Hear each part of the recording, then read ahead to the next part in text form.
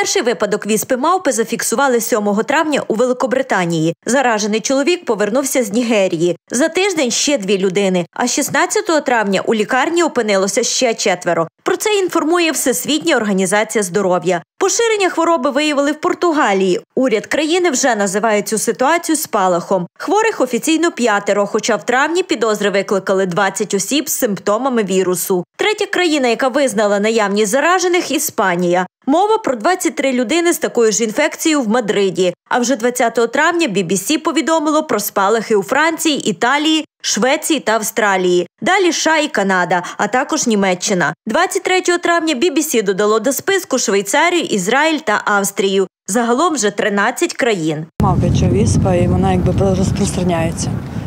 Про це чули і все. А ви остерігайтеся, як Ні, думаєте, буде ні, в Україні, не Ні, ні, думаю, ні.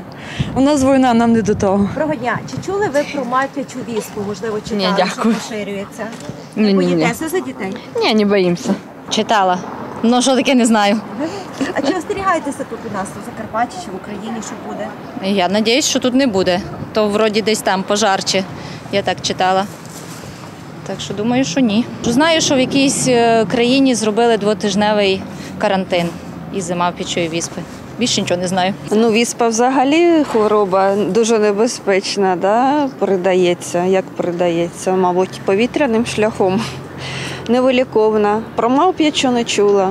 Віспа мавпи – рідкісне вірусне захворювання, відноситься до групи ортопоксвірусів. Природний резервуар віспи мавп залишається досі невідомим. Гризуни та примати можуть переносити його і заражати людей. Зустрічається у тропіках, здебільшого у Африці. Вперше випадок хвороби на мавпячу віспу зафіксовано у 1970 році. Вірус може передаватися від тварини до людини і від людини до людини. Від тварини до людини він передається у випадку, коли е, людина доглядає за хворими тваринами, коли вона контактує із е, їхніми біологічними рідинами. Е, Тобто, це може бути як контактний шлях, так може бути крапельний шлях передачі.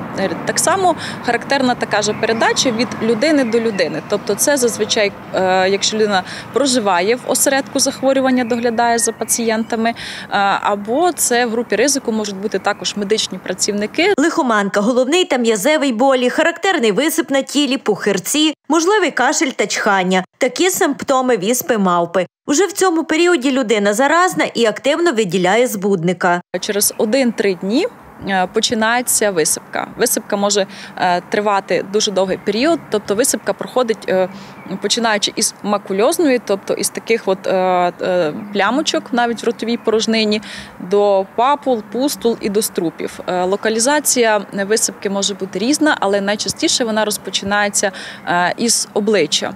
Е, Відповідно, коли людина, коли в людини починається висипка і коли Починається виділення е, із цих пустул, то тоді до краплинного шляху приєднується і ще й контактно-побутовий через е, контакт з рідинами або через контакт з предметами побуту. Від 10 до 20 днів тривалість хвороби. Інкубаційний період в середньому 7-14 днів. Здебільшого захворювання проходить в легкій формі, найскладніше переносять діти. Вірогідність летальних випадків 1 на 10-15. А от ліків від мавпячої віспи немає, лікування симптоматичне. Медики кажуть, регулярна вакцинація від натуральної віспи знижує ризик зараження віспою мавпи. Варто нагадати і про засоби захисту, які стануть у нагоді при поширенні будь-якої інфекції, у тому числі і мавпячої віспи. Наразі в Україні жодного випадку не зафіксовано, інформує Міністерство охорони здоров'я.